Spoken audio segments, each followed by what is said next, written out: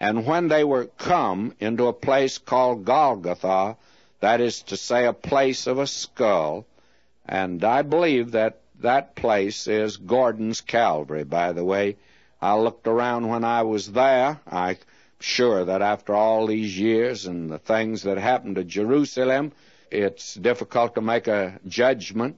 I'm sure that if you have to make a choice between the two places that have been chosen, then it would be Gordon's Calvary. It is a place of a skull. They gave him vinegar to drink mingled with gall, and when he had tasted thereof, he would not drink. You see, that's in fulfillment of prophecy. Psalm 69:21. And they crucified him and parted his garments, casting lots, that it might be fulfilled which was spoken by the prophet. They parted my garments among them, and upon my vesture did they cast lots. So that all this is happening according to the fulfillment of prophecy. And sitting down, they watched him there. And I think that here you see humanity that has reached the very lowest depth. I don't think you need to go to Skid Row. You don't need to look at the dope fiends. You do not need to go to a prison and look at some criminal. If you want to see mankind that's reached the lowest, here it is. And sitting down, they watched him there. And I believe in that crowd was Saul of Tarsus. Later on, he called himself the chief of sinners.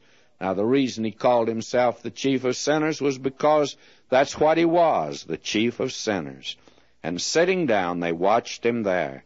And they set up over his head his accusation written, this is Jesus, the King of the Jews. Then were there two thieves crucified with him, one on the right hand and another on the left.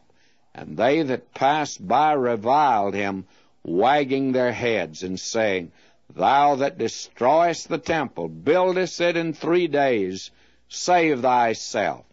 If thou be the Son of God, come down from the cross.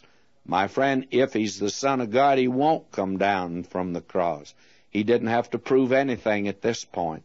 He's now dying for the sins of the world. If thou be the Son of God, they raised the doubt.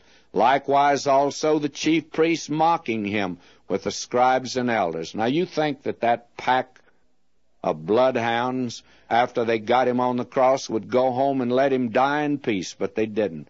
You see, they stayed there till the last minute.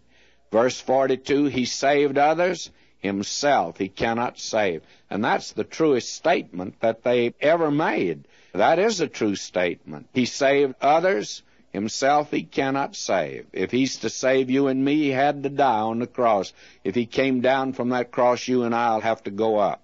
We'd have to be executed for our sins. We deserve it. We're hell doomed sinners and he took our place there. Not only Barabbas's place, but yours and mine. I wonder sometime if Barabbas didn't get saved somewhere along the line.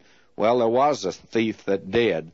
Now, he saved others, himself he cannot save.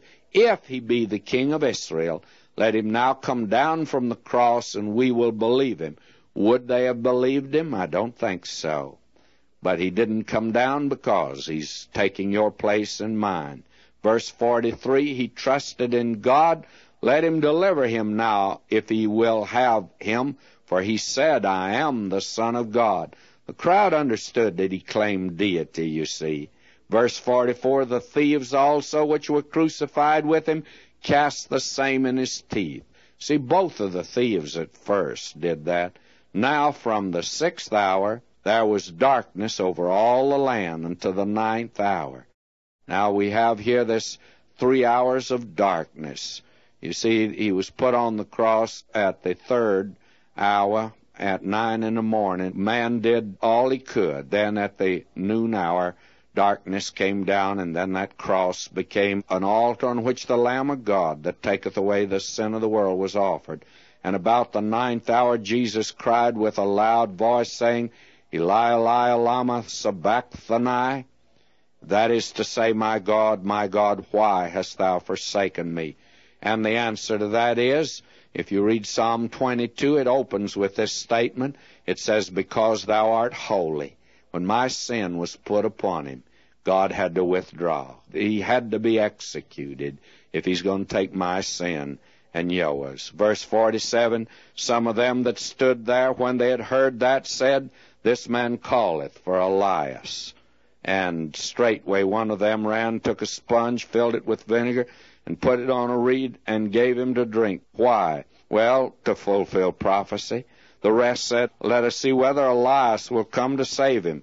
Jesus, when he had cried again with a loud voice, notice how he died. He yielded up the ghost. He went willingly.